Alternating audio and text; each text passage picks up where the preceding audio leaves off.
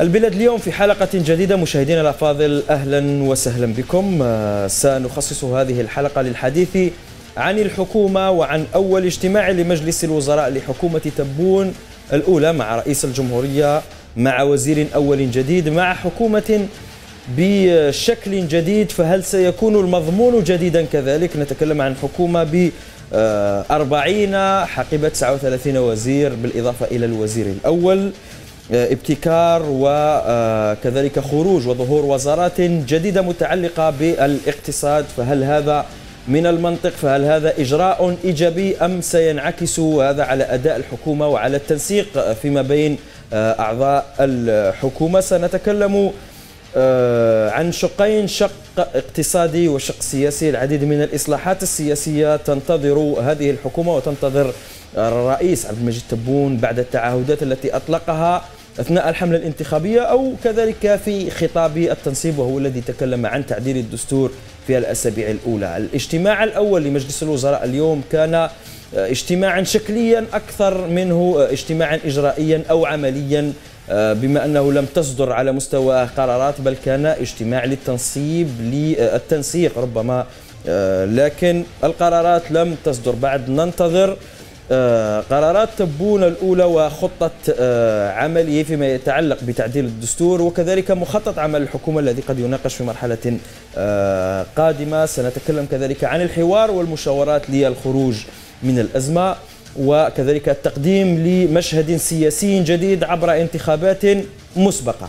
كل هذه الأسئلة كل هذه المحاور مشاهدينا أسعد بمناقشتها رفقة ضيفي في الاستوديو الأستاذ كمال قرابة وهو قيادي في حركة البناء. أهلا وسهلا بك أستاذ كمال. شكرا جزيلا. والدكتور هواري تغرسي وهو عضو لجنة المالية بالبرلمان وأنت كذلك أستاذ في الاقتصاد. أهلا وسهلا شكرا بك. بارك الله فيك. شكرا جزيلا. أنطلق معك أستاذ كمال قرابة. تشكلت الحكومة واجتمعت واستلمت المهام واليوم كانت هنالك الصورة التي آه، غابت ربما عن الجزائريين في مرحلة سابقة ظهور وجوه شابة آه، في آه، وزارات لا توصف بالوزارات السيادية هنالك من يصفها بوزارات الصف الثاني وظهرت صورة جديدة كذلك رئيس الجمهورية يسير إلى مقعده راجلا وهو ما لم نكن نشاهده في فترة عبد العزيز بوتفليقة. كقراءة أولى لتشكل هذه الحكومة ولهذا الاجتماع ماذا يمكن أن نقول؟ الله الرحمن الرحيم شكرا أخي يوسف على الدعوة مرحبا آه، أول شيء يمكن أن نسجله في قراءة أولية نعم. هو انه الحمد لله آه، خرجنا من نفق اللا شرعية إلى آه، فساحة الشرعية وشفافيه الشرعية الحمد لله الآن الجزائر بمؤسساتها قائمة ينعقد مجلس الوزراء برئاسة رئيس جمهورية منتخب. فهذه يعني خطوة لابد ان نشير إليها كمكسب لمسار آه، طويل مسار آه، عسير آه، بعد إجراء انتخابات في أجواء كانت أجواء صعبة جدا. ولكن الحمد لله هو انتصار لخيار لخيار الحل الدستوري الذي جنب البلاد الكثير من مشاكل. يبقى الآن مرحلة مرحلة الواقع ولا مرحلة التحديات الحقيقية. الآن آه، رئيس الجمهورية آه، نصب حكومته اليوم في اجتماع مجلس الوزراء. آه، حكومة أقل ما يقال عنها أنها حكومة غير سياسية حكومة لا أدري كيف تكنوقراطية.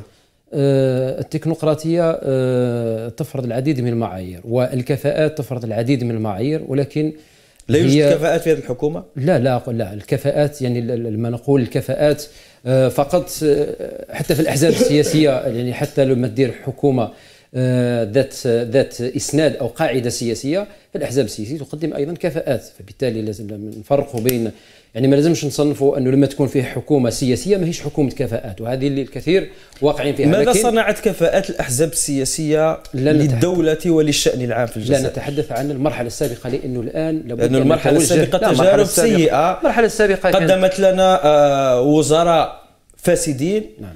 أمناء عامين فاسدين هم متواجدين بسجن الحراش ولا بد أن نتحرر من النمطية القديمة بمعنى م. إذا نقارنوا بالساحة السياسية الواجهة السياسية السابقة الواجهة السياسية السابقة سقطت في الانتخابات الرئاسية يعني لكن الواجهة السياسية السابقة للأحزاب لم تسقط ننتظر أكيد. بأن آه أكيد. تظهر قيادات سياسية وأحزاب سياسية في المرحلة القادمة هي وننتظر كذلك إعادة ظهور ساحة وتشكل ساحة سياسية ليس بالأطر السياسية التقليدية فقط في الجزائر. هي أخي يوسف الأحزاب السياسية لما لما نصفها هي آه، تزخر بالكفاءات لكن المنظومة لا لم تسمح للكفاءات والكفاءات القيادية بأن تتبوأ لأنه كانت منظومة الفساد لا تسمح إلا بمنطق ما يسمى بمنطق الشكارة هو اللي يفوت.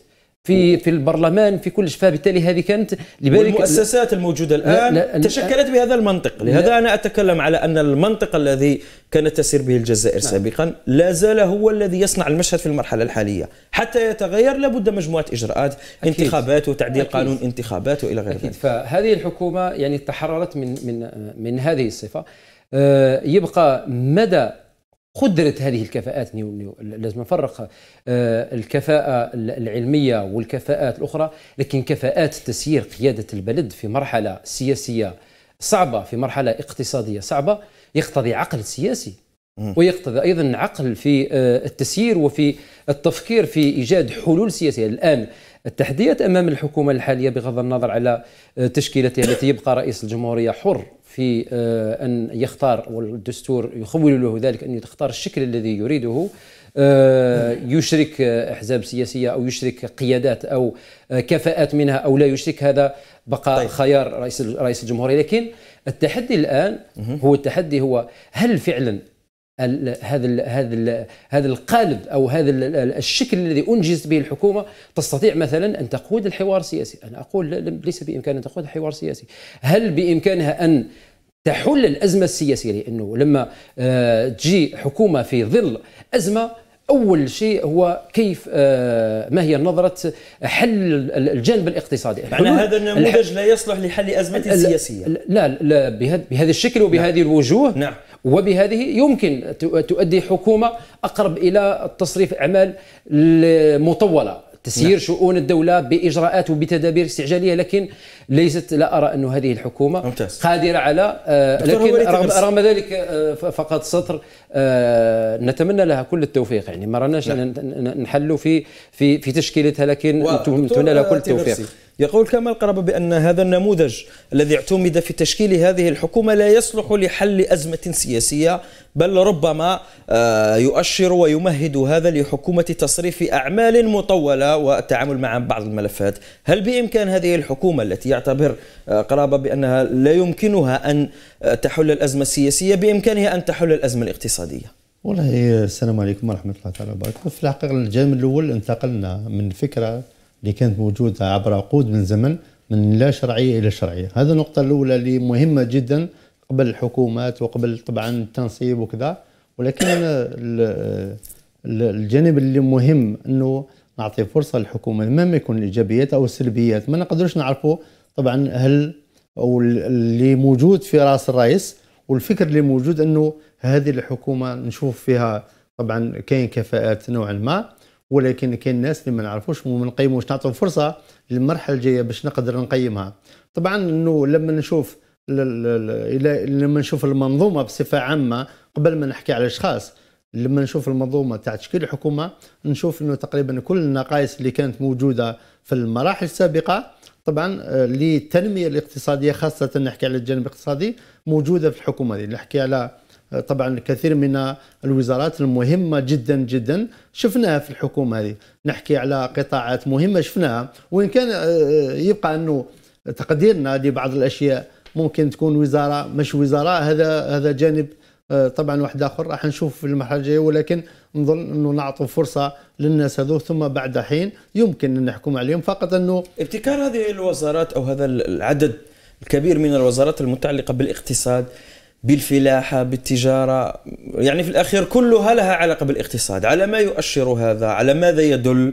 وهل سيكون هذا امرا ايجابيا بالنسبة لتسيير الشأن العام وتسيير المال العام أم قد يكون له انعكاسات سلبية خاصة فيما يتعلق بتقديم المعلومة فيما يتعلق بالتنسيق فيما يتعلق بتداخل الصلاحيات؟ شوف أنا نشوف الجانب هذا. على الأقل قلت لك أن البرنامج بصفة عامة نشوفه أنه مهيكل أنه تقريبا لما نقول وزارة من الوزارات ولكن يبقى أنه بعض ال بعض ال القطاعات المهمة قدرنا كيفاش نهيكل. لما نحكي على كتابة الدولة للاحصاء والإستشراف كانت طبعا مغيبة للمرحلة اللي فاتت وأنا نقول لك إنه ممكن كان كان السيد لظروف معينة ممكن أقاله هو والوزاره تاعو اللي ممكن جدا قال كلام فقط لكن المرحلة هذه نظن ضروري نروح لقطاع هذا بالذات. مهم جدا اللي راح نشوف فيه من خلال طبعا جمع المعلومات اللي ما عندناش في الجزائر. هذا اللي يهمنا. اللي يهمنا إنه نحتاج في المرحلة الجاية وكنا نحتاج مثلا أكثر من هذا لما نشوف قطاع الضرائب ونسبه التحصيل فيه في الجزائر 18% المفروض كنا ندير وزارة معينة أو كتاب الدولة للضرائب للتحصيل الضريبي. طبعا مش ممكن إنه تكون عندنا سوء النية فيما يخص طبعا بعض الوزارات وبعض كتابات الدولة. نظن إنه الوقت هو اللي طبعا راح يجي منه لما نشوف النفقات فيما يخص هذه الوزارات نظن إن إذا كان مشات بالمستوى المطلوب في المرحلة الجاية نظن المداخل تاعها راح تكون كبير مقارنة مع النفقات اللي ألا يزيد ابتكار هذه الوزارات؟ هو منه ابتكار آه، إطارات ومديريات آه، يزيد من نفقات الدولة.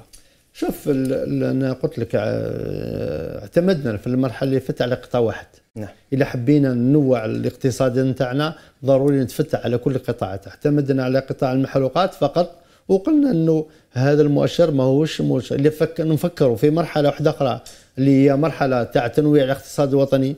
ضروري انه نفكر في الكفاءة. لما نشوف مثلا المؤسسات الناشئة ل startup مهمة جدا في بعض الدول. مثلا تساهم في في الاقتصاد القومي تقريبا ب 40% نعم. إحنا في الجزائر ما كانش ولا مؤسسة تقريبا مهتمة بال startup.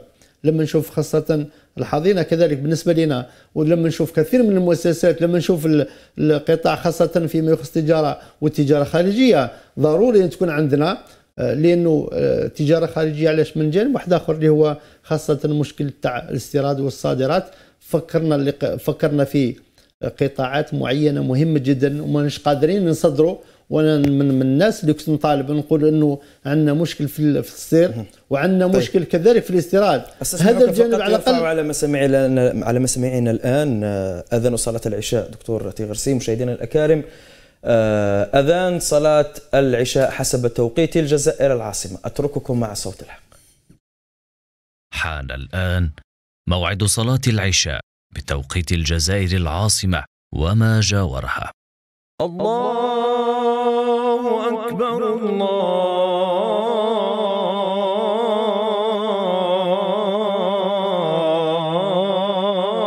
الله أكبر.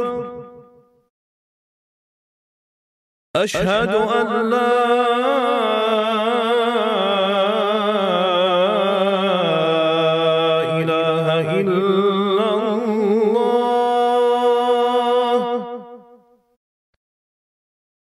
أشهد أن لا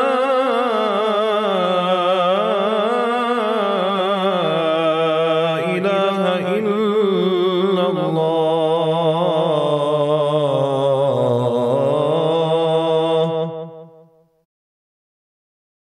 أشهد أن محمدا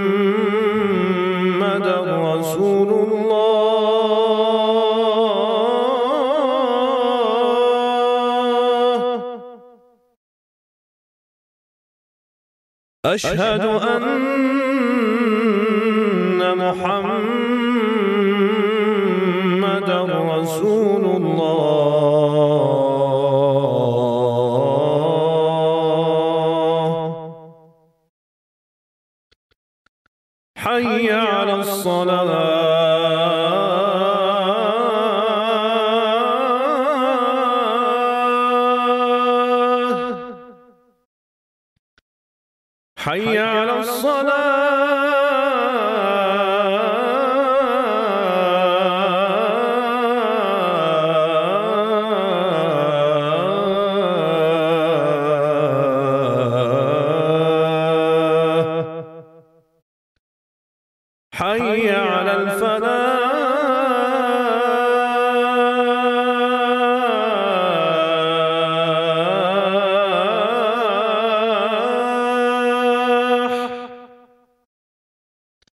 حي على الفلاح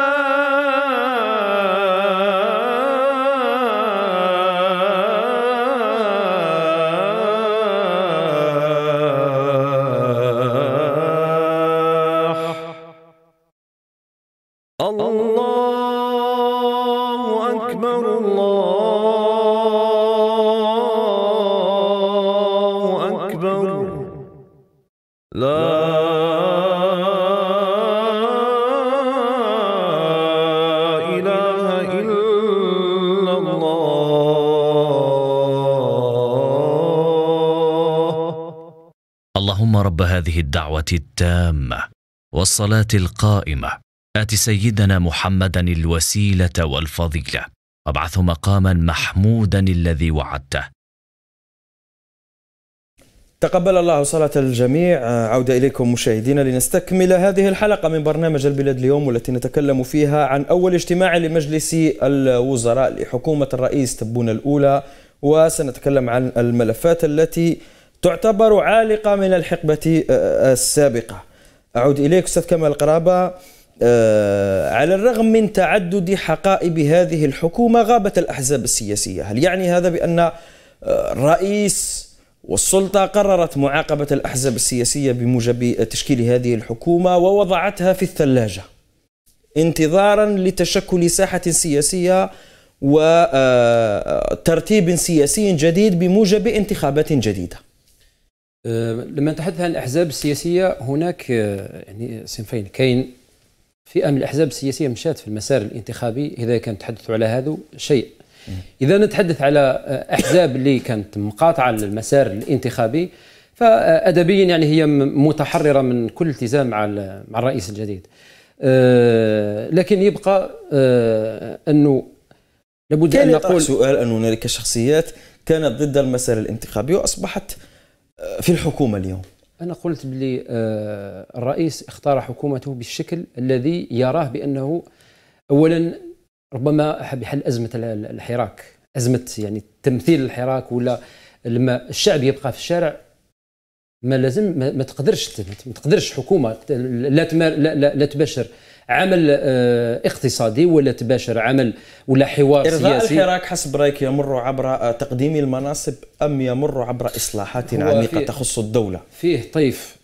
هذه النظره إحنا نحكيو نحكيو على الشيء الشيء اللي صرا كاين فيه ناس من الحراك اللي كانوا ضد المسار الانتخابي وضد وضد يعني الشيء اللي كان كامل من قبل حتى ضد رموز معينة. الآن راهم في في الحكومة وهم طيف. من الحراك. يعني ما نقدرش ما نقدرش نقولوا لأنه الحراك هو فعل, فعل مجتمعي فعل مجتمعي.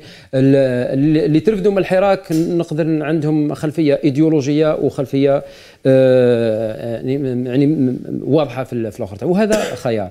آه، لكن يبقى الرئيس قلت متحرر وإحنا مازال ما نقدرش نحكموا على آه، توجهات الرئيس في رؤيته لحلحلة الأزمة. إحنا الآن امام أنا من مانيش حاب نغرقوا في في حكومة حكومة الرئيس اختارها نتمنى له كل التوفيق. لا لا لا اتكلم عن الأحزاب. عن دور الأحزاب السياسية إذا لم تشارك في صناعة القرار إذا لم تشارك في الحكم فأي دور بقي للأحزاب السياسية؟ أو هذا مؤشر على أن الساحة السياسية الحالية غير تمثيلية وبالتالي لا يمكن آه، أن نعتمد عليها في تشكيل حكومة. ننتظر الانتخابات المسبقة. مسلم بها الواجهه السياسية السابقة ليست واجهة حقيقية. يعني لما نقول نتائج الانتخابات الرئاسيه اللي فيها على الأقل فيها أربعة خمسة أحزاب سياسية اللي آه، من بين المترشح وبين الأحزاب المساندة. النتائج اعطت عكس اعطت عكس ما كان يعني لما نشوفوا النسب البرلمان آه، تهيمن عليه قوتين حزبيتين. في الانتخابات الرئاسية المرشح آه، حزب في البرلمان طبعا هذا الشيء يختلف يعني المعايير تاع الانتخابات الرئاسية والتشريعيه تختلف لكن هي مؤشر. أيضا لابد أن نأخذ هل ان, أن, أن نناقش الساحة السياسية ما بعد آه، حراك 22 فبراير؟ 22 فبراير هو أعطى آه، أعطى رؤية جديدة لتوجهات الشعب، الشعب اللي كان مستقيل من الحياة السياسية آه، خرج في الحراك وتطلعات الشعب واش كان واش كانت تقول؟ كانت إصلاح إصلاح الشأن العام في البلد وأهم ملف اللي كان طالب به الحراك هو ملف الإصلاحات السياسية، طيب. الإصلاحات السياسية لأنه المنظومة القانونية الحالية سنتكلم عن الإصلاحات. السياسية، قبل ذلك الإصلاحات الاقتصادية التي تنتظر عبد المجيد تبون الرئيس والذي تعهد بها لما كان مترشحا وكذلك في خطابه التنصيب عندما تكلم عن تصحيح منظومة الاقتصاد الوطني وتكلم عن صراع صناعة الرفاه الاجتماعي. والله قبل آه، هذا نظن المرحلة تقتضي أنه يكون سيناريو سيناريو قصير المدى متوسط المدى وطويل المدى. لما نشوفوا سيناريو قصير قصير المدى خاصة هو توقيف النزيف الفساد لأنه أرقام لما نشوف الأرقام هي أرقام كبيرة جدا لأنه لما تكون لما تكون عندنا حركية اقتصادية راح نشوفها ممكن جدا في المدى المتوسط أو المدى طويل. ولكن وش وش وش يقدر يصح لنا؟ أو العجز اللي موجود في الاقتصاد العام هذا أنه أنا قلت معناها الفساد لا يزال مستمر حسب أكيد أكيد. ما زال مستمر ما زال مستمر ارقام ارقام أرقام كبيرة جدا. نتخيلوا إنه في المحاكمة الماضية كانت أرقام كبيرة جدا في في مقتل صناعة السيارات. ونتمنوا طبعا من وزير الصناعه الحالي باش يوقف هذا النزيف. في القطاع هذا لأنه هو كان موجود خاصة في البلاطوات وفي الحراك وكان يقول دائما عندنا نفخ العجلات وكذا. نتمنى وعندي ثقة فيه أنه راح يتوقف هذه العملية. ننتقل إلى أمور واحدة أخرى. إنه لما نشوف كذلك لما نشوف القطاع المالي أموال رهيبة جدا. لما نحكي على النفقات الجيبيه وش معناتها النفقات الإيجابية؟ معناتها الامتيازات الممنوحة للمستثمرين أرقام كبيرة جدا أرقام أرقام مخيفة. لما نحكي على طبعا الغش الضريبي والتهرب الضريبي اللي قال الزميل عليه كذلك أرقام كبيرة. لحقنا التحصيل الضريبي تقريبا 18% معناتها 82% غير متحصلة. في الجزائر طبعا ما عدا اللي صادرين اللي يخلصوا الضرائب تاعهم. تقريبا تقريبا تقريبا نقولها كل التجار في الجزائر ماهوش معنيين بالضريبة. نتحقق أنه هذه هذا اللي قلت لك معناتها الفساد اللي موجود المرحلة القصيرة اللي ممكن تجمع الأموال هذه اللي كانت في فساد وتغلق بؤر الفساد وتقدر تدير تحصيل ممكن نغطوا الميزانية العام هذا اللي عمل لي ثم نحكي على التنمية، التنمية بدون تحصيل والرئيس كان توعد في هذه المرحلة أنه طبعا عارف الاموال اللي موجودة في الفساد وراح ممكن طبعا يحصلها. نتمنى كذلك يوصل يوفي بالوعد تاعو. كذلك بالنسبة للمواطن البسيط قال نرفع المواطن. متى سيكون هذا؟ بالنسبة للقرارات متى تتوقع أن تكون الانطلاقة الفعلية والحقيقية لعبد على المدى المتوسط؟ رئيسا للجزائر أنا نتوقع الانطلاقة الحقيقية قلنا إنه خاصه كم خاصه المدى المتوسط؟ هذا ما المؤشرات لا لا كان كاين فكرة. فكرة مهمة جدا. فكرة ال يوم هذه؟ المؤشرات بالنسبة لثقة المواطن. المواطن يستر كيف يمكن ان استرجاع ثقة المواطن من خلال قرارات مهمة في خلال 100 يوم؟ ثم يمكن أنه هذا الحراك اللي نشوف فيه أو مجموعة من الحراك أو جزء من الحراك يمكن استرجاع الثقة تاعو بالقرارات اللي مهمة واللي راح نشوفوها في الأيام الأولى هذه. من من بينها مثلا من أي نوع هذه القرارات؟ آه، قرارات طبعا خاصة فيما يخص السيادية آه، أو خاصة فيما يخص طبعا لما نشوف الفساد كنحكي عليه هو أرقام كبيرة جدا. كيف يمكن استرجاع أموال الشعب؟ من طرف المجموعة الفاسدة اللي حكمت المرة اللي فاتت. هي أموال كبيرة جدا جدا. ونعطيك مثال فقط. لما بختي بالعيب يقول عندي آه الله يرحمه يقول عنده تقريبا 30% من آه نعم. طبعا معدل التضخم. 30% في 30% لما نحسب 10 10 مليار في السنة تقريبا 200 مليار في تضخيم الفواتير إنه كل هذه البؤر طبعا الفساد ما زالت موجودة. كيف يمكن التحكم فيها؟ طبعا من خلال وزارة التجارة من خلال وزارة الصناعة من طيب. خلال أرقام كبيرة نقولها بكل صراحة. وأنا نقولها في, في البلاطو هذا. أنا اندهشت لما شفت وزير الماليه موجود في الحكومة هذه. لأنه, لأنه هو اللي جاب طبعا خاصة فيما يخص التمويل غير التقليدي والأخطاء اللي فرز ثم عدنا شفناه في الحكومة هذه. نتوقع آه، آه، في الجانب هذا أقل. في قطاع المالي الارقام كبيرة جدا جدا. يمكن استرجاعها يمكن طبعا غلق بؤر التوتر وغلق بؤر الفساد اللي يمكن استرجاع المال العام والحفاظ عليه. ثم السير بعدها معناها في قطاع الماليه لست متفائلا بتعيين راوي. لست متفائل. ممتاز. أه نتوقف عند فاصل قصير ثم نواصل النقاش. مشاهدينا فاصل ثم نواصل. ابقوا معنا.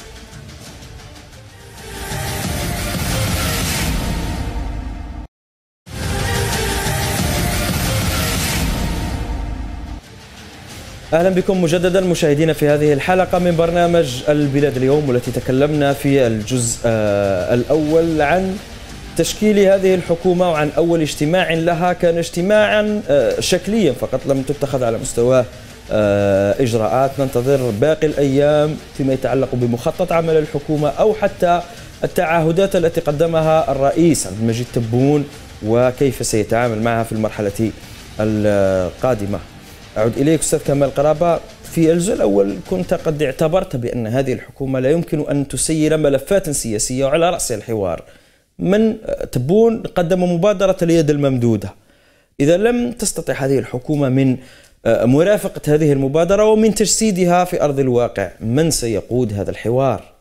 الحوار من هي الشخصيات التي الحوار ستقوده الرئاسة ولا تقوده الحكومة؟ الحكومة سيخول لها آه، متابعة شؤون الدولة ومحاولة آه، إصلاح بعض الاختلالات الهيكلية اللي في الجانب الاقتصادي في الجانب الاجتماعي لأنه حتى الجانب الاقتصادي الجانب الاقتصادي يحتاج إلى حوار وطني يحتاج إلى حوار وطني. خيارات الجزائر في الكثير من الملفات الاقتصادية تحتاج إلى إجماع وطني. فبالتالي آه فبالتالي هاتين المهمتين الملف الملف السياسي والملف الاقتصادي سيكون ملف ثقيل جدا آه بالنسبة للحوار أعتقد أن آه الرئيس تبون سيلجأ إلى آه، شخصيات وازنة وإلى آه، نوع من استقباله قبل أيام لبن بيتور هل هو مؤشر على شيء ما في المرحلة المقبلة؟ آه، أعطيت له العديد من التفسيرات منها ما هو استشارة في الشأن السياسي في حد ذاته باعتباره رمز من رموز الحراك والذي يحظى بمصداقية وبالتأثير على بعض الجهات داخل الحراك وأرى أن نتيجتها جاءت في تشكيل الحكومة. وفيه أيضا ربما آه، في الجانب المالي المتعلق بالمالية. وأنا أقول بالجانب الاقتصادي لأنه اختصاص الأستاذ بن بيتور في الجانب في الجانب المالي ربما في آه، ملفات معينة. ويمكن أن يستدعى إلى آه، مهام يعني السيد بن بيتور يحظى يقدر يكون كجزء من طيب. أنا نشوف باللي الحوار لا يمكن أن تقوده شخصية لأنه الآن أصبح الإجماع على شخصية واحدة غير على ماذا صديق. ستتحاور الطبقة السياسية في الجزائر إذا تشكلت الحكومة الآن؟ ما هو الرهان لهذا الحوار؟ آه الآن الحكومة وكل الدستور وكل تكلم عن مجد بأنه سيوكل إلى خبراء لا كل المخرجات نعم الانتخابات الرئاسية هي عودة إلى نقطة ما بعد الحراك الحراك آه، طلب آه، رفض العهدة الخامسة. وطالب بإصلاحات إصلاحات طلب بالتغيير. ثم وقعنا في إشكال في شرعية آه، مؤسسة من مؤسسات الدولة بعد ما فرضت تطبيق المادة 180 طيب اليوم اليوم, اليوم وبعد أن تجاوزنا هذا المسار حتى نكون لا لا لا نحن عدنا أكثر. نحن عدنا إلى تصحيح لأنه مباشرة بعد ما سقطت الخامسة وقعنا في اللا شرعية وقعنا في شغور في منصب مهم في الدولة. تجاوزنا هذه المرحلة هذه المرحلة لدينا مخرجات كل هذه جديدة. المرحلة كل هذه المرحلة. المسار الدستوري والحوار اللي فشل والانتخابات تاع 4 جويليا وهذه الانتخابات تاع 12 هي العودة إلى نقطة ما بعد آه، رحيل بوتفليقة. طيب. الاصل الأصل بعد ذلك ننطلق في مشروع التغيير اللي طالب به الشعب. الشعب راهو خرج مش باش يدير رئيس. هذا التغيير؟ ألا ترى بأن أول خطوة يجب أن آه، يقوم بها عبد المجيد تبون في المرحلة المقبلة أو في الأيام القليلة المقبلة هي تعديل الدستور؟ لأن هذا الدستور فيه الكثير آه، من المكبلات للانطلاقة السياسية والاقتصادية والاجتماعية والثقافية هو الإصلاحات الإصلاحات حزمة الدستور جزء منها لابد من الاتفاق اولا على خارطة الطريق هل نبدأ بالانتخابات التشريعية؟ هل نبدأ بالدستور؟ ما هي نظرتكم أنتم في حركة البناء؟ حركة نسبق البناء نسبق حل البرلمان قبل تعديل الدستور أم نعدل الدستور وننطلق منه إلى إصلاحات أخرى؟ في حركة البناء نعم. طرحنا أنه هذه المسألة ستكون من مخرجات الحوار، الجزائريون بكل أطيافهم ودون إقصاء أول شيء هو برمجة حوار شامل للاتفاق على ما هي أولويات الشعب الجزائري الآن. لأنه الشعب الجزائري أنجز حراك. الشعب الجزائري عنده تطلعات. الشعب الجزائري لم لم لم يخرج من أجل أن يجري آه، أن ينتخب رئيس ولا أنه يبدل بوتفليقة برئيس آخر. الشعب الجزائري عبر على آه، الانتقال من وضع إلى وضع اخر الشعب الجزائري تعرض إلى إلى إلى إلى إلى عقاب طويل مست حقوقه مست أرزاقه مست كرامته, كرامته. فبالتالي الشعب الجزائري الآن لا يحتاج لا يحتاج إلى إصلاحات آه، إصلاحات قانونية. نعدلوا الدستور ونعدلوا قانون انتخابات وقانون الأحزاب ونديروا انتخابات تشريعيه وانتخابات محلية وبعدين نواصلوا في نفس المسار السابق ونعاودوا المنظومه تنتج منظومة. اذا هنا ما صارش فيه تغيير. مش هذه مش تطلعات الشعب تطلعات الشعب معبر عنها النخبة عبرت عنها. طيب نحتاج فقط لأتلو على مسامعكم وعلى مسامع مشاهدينا ما تشاهدونه الآن في شريط الهام. الرئيس عبد المجيد تبون يؤكد على الالتزامات التي وردت في برنامجه الانتخابي. الرئيس تبون يأمر الحكومة بإعداد خطة عملها وخارطة طريق خاصة بكل وزير. الرئيس تبون يؤكد على بناء جمهورية جديدة تستجيب لتطلعات الشعب. تبون يدعو الوزراء ليكونوا الأذن الساغية لانشغالات المواطنين. رئيس تبون للوزراء يجب اتباع نهج الحوار والتشاور وخدمة الدولة والشعب. يقول كذلك الرئيس تبون مباشرة أو مباشرة إجراء تقويم للوضع العام للبلاد. يجب استعادة هيبة الدولة وثقة المواطنين بها. الجزائر الجديدة التي يطمح إليها المواطنون تستلزم إعادة النظر في منظومة الحكم. الرئيس تبون يجب إجراء تعديل عميق على الدستور. في هذا الصدد يستلزم بناء نعم دائما في مواصلين في تصريحات. تبون يستلزم بناء الجزائر التي يطمح إليها المواطنون والمواطنات. إعادة النظر في منظومة الحكم من خلال إجراء تعديل عميق على الدستور. الذي يعتبر حجر الزاوية لبناء الجمهورية الجديدة وعلى بعض النصوص القانونية وهذا ما كنا نتكلم عنه. ربما هذا مؤشر على أن أول خطوة ستكون تعديل الدستور ومنه آه، ربما إجراء انتخابات تشريعية آه، مسبقة. آه، القانون العضوي المتعلق بالانتخابات كذلك سيعدل حسب تصريحات تبون كما أنه يستلزم من جهة أخرى أخلقت الحياة السياسية عبر تكريس الفصل فصل الفصل بين المال والسياسة ومحاربة الرداء في التسيير إذ أنه يتعين أن ترتكز الجمهورية الجديدة على قيام دولة القانون التي تضمن استقلالية القضاء وترقية الديمقراطية التشاركية الحقة التي تمنح فرص الرقي الاجتماعي والسياسي للجميع. أه تذكرت وأنا أتلو هذه الأخبار خطاب التنصيب العودة إلى خطاب التنصيب وما يسمى بالرفاه الاجتماعي كذلك ويؤشر ويوحي آه، عبد المجيد تبون بأنه سيتوجه إلى تعديل عميق للدستور في المرحلة المقبلة قبل الانطلاق في كل الإصلاحات الأخرى. يبدو لي من خلال هذا البيان قبل ذلك فقط أستسمحك على المقاطعة آه، تصريحات أخرى تتعلق بالصعيد الخارجي ركز عبد المجيد تبون على البيئة المعقدة التي تحيط بالجزائر على المستويين الجهوي والدولي والتي تعتبر اليوم مسرحا لمناورات جيوسياسية كبيرة وميدانا لتشابك عوامل التهديد وعدم استقرار. الرئيس أكد على ضرورة استخلاص أبرز الدروس على المستوى الاستراتيجي من أجل ضمان الأخذ في الحسبان انعكاسات تدهور الوضع الأمني في المنطقة على أمننا الوطني وعليه شدد الرئيس. رئيس الجمهورية عبد المجيد تبون على أنه لا ينبغي للجزائر بأي حال من الأحوال أن تحيد عن واجبي التضامن وحسن الجوار الذي تستمر في ترقيتهما من خلال تعاون يهدف إلى تحقيق تكامل جهوي مفيد لكل الأطراف كما أن الجزائر التي ترفض التدخل في شؤون الدول الأخرى تتصدى بكل قوة لأي محاولة للتدخل في شؤونها الوطنية.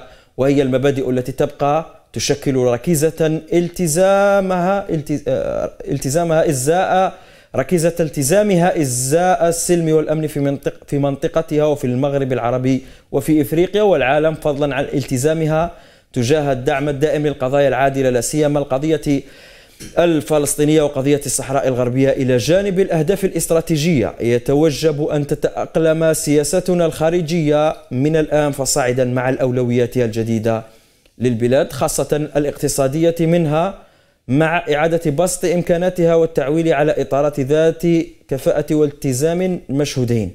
يضيف تبون أنه يتعين على دبلوماسياتنا أن تعطي للعالم صورة عن الجزائر التي تثق في نفسها وفي إمكانياتها وفي مستقبلها وفخورة بماضيها وإنجازاتها على وعي بالصعوبات كذلك التي تواجهها لكنها مصممة على تجاوزها. طيب هذا فيما يتعلق عفوا بالسياسة آه، الخارجية. نعود إلى آه، الشأن السياسي.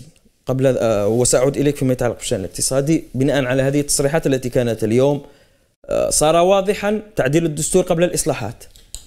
هو في آه، سيد تبون رئيس الجمهورية في خطاب التنصيب آه، يعني كان في خطاب آه، قوي دسم واضح ومشجع جدا في مسائل الهوية في مسائل توجهات الجزائر الجديد أو الجمهورية الجديدة كما سماها. كان خطاب مطمئن جدا ولقي صدى صدى يعني جيد في الساحة السياسية. وأعتقد أن مخرجات أو آه، تصريح آه، مجلس مخرجات مجلس الوزراء. هو عبارة عن خارطة طريق رئيس الجمهورية. يعني اعطاء خارطة الطريق اعطاء فيه أفكار. وهذه مهمة يعني عندنا أزمة سياسية عندنا أزمة اقتصادية وعندنا وضع إقليمي وسياده وأمن البلد. فيبدو لي أنه يعني التصريح تاع رئيس الجمهورية في بيان آه، اجتماع مجلس الوزراء نعم. آه، أعطى الملامح الكبرى وهذا اللي لازم يكون هو آه، شيء يعني لو يؤخذ بهذه الجدية سيكون إن شاء الله انطلاقة انطلاقة جيدة والحكومة بناء على هذه التعليمات ستنخرط في ديناميكية جاهزة وليست اجتهادات وفي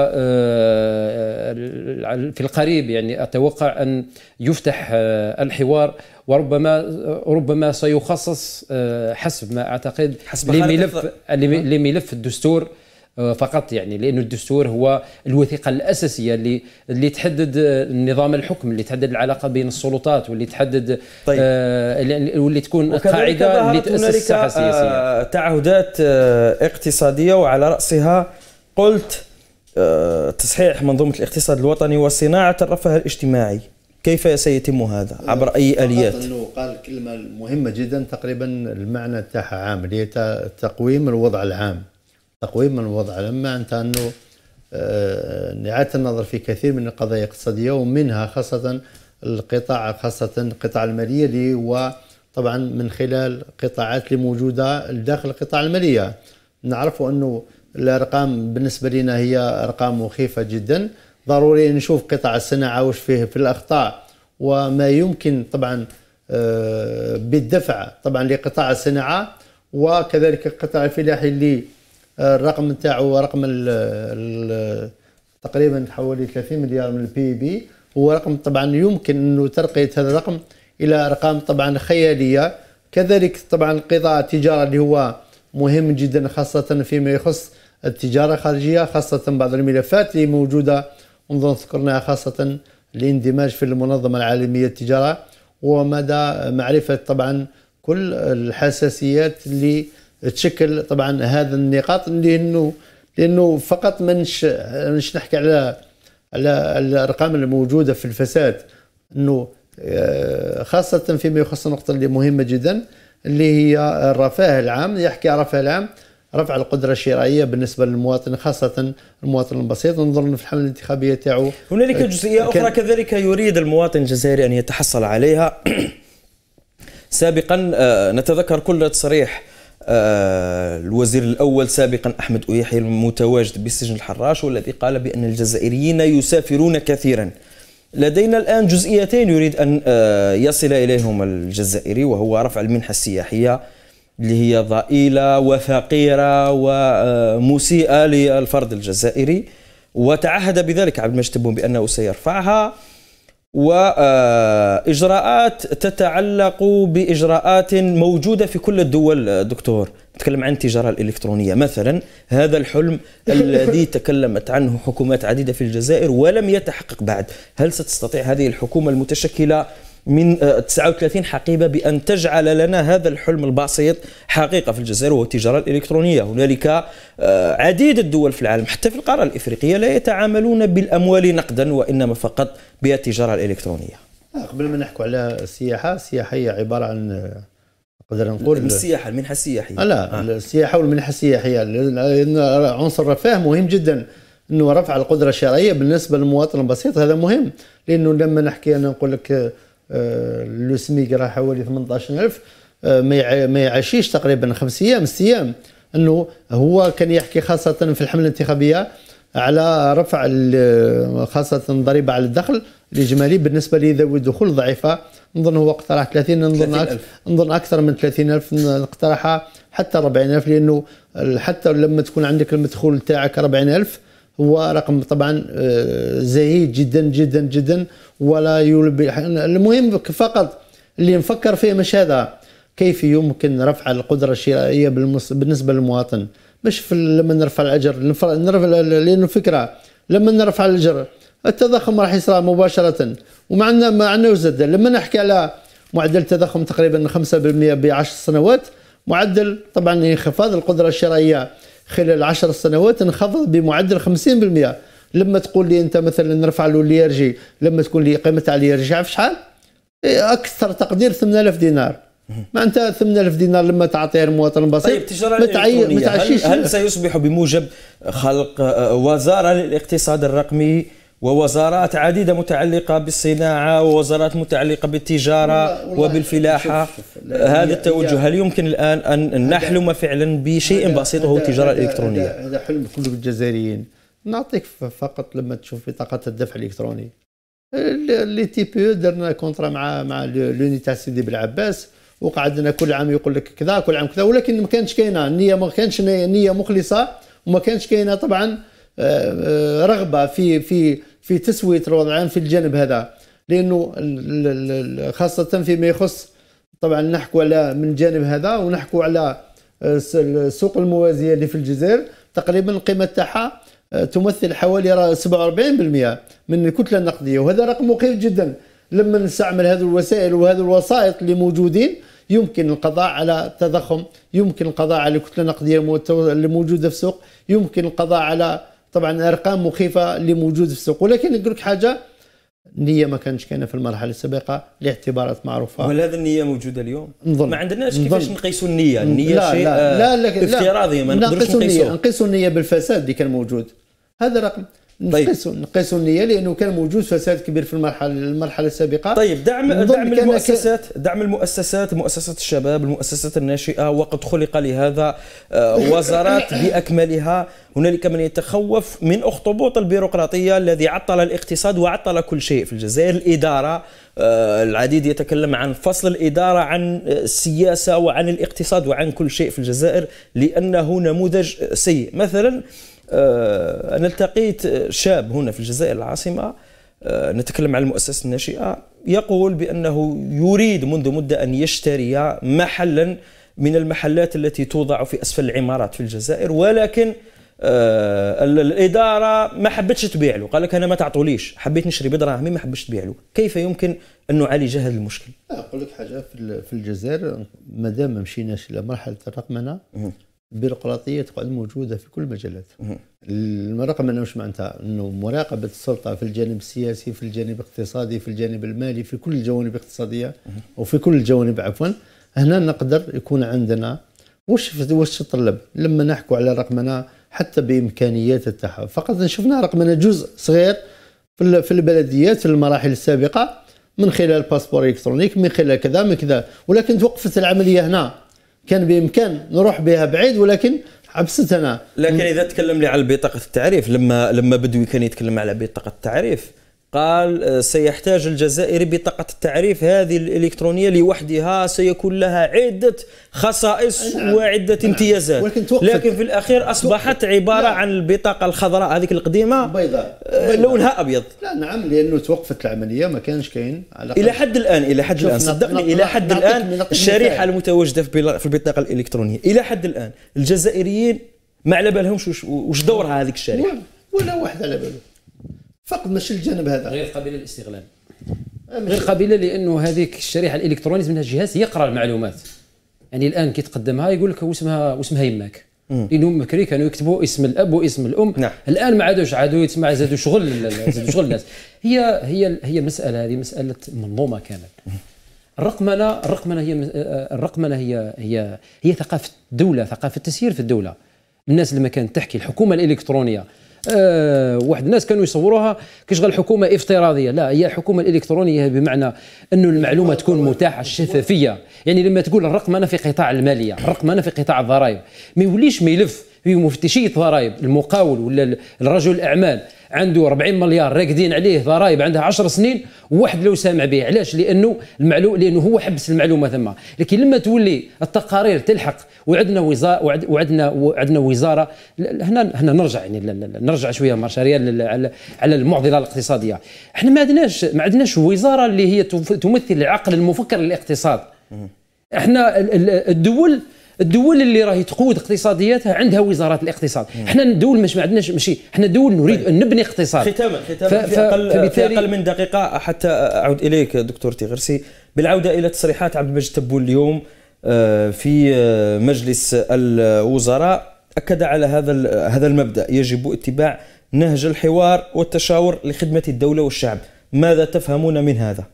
رسائل شوف لأن أن البيان يحمل رسائل جيدة يحمل نوايا آه، جيدة يحمل تجسيد لوعود الرئيس تبون في الحملة الانتخابية لأنه هذا هو هذا هو الوقت باش يطلقها لأنه بعد ما استكمل الحكومة الآن ويعطي في تعليمات للحكومة اللي اللي أسسها باش تكون باش باش تكون تعمل بانسجام وفق رؤية مشتركة يعني هو أنا أنا قلت لك باللي هو حدد خارطة الطريق وحدد معالم وجدية آه، اشتغال القطاعات الوزارية. للأسف آه، في أقل من دقيقة انتهى الوقت. دكتور تيغرس في أقل من دقيقة. آه نهج الحوار والتشاور آه لابد أن يتبع في خدمة الدولة والشعب حسب آخر تصريح لعبد المجيد تبون. ماذا تفهمون من هذا؟ نظن لأنه كان كان هو كبيرة موجودة ما بين الشعب وما بين طبعا السلطة اللي هي طبعا من ممثلة من خلال طبعا جهاز الرئاسة وجهاز الحكومة.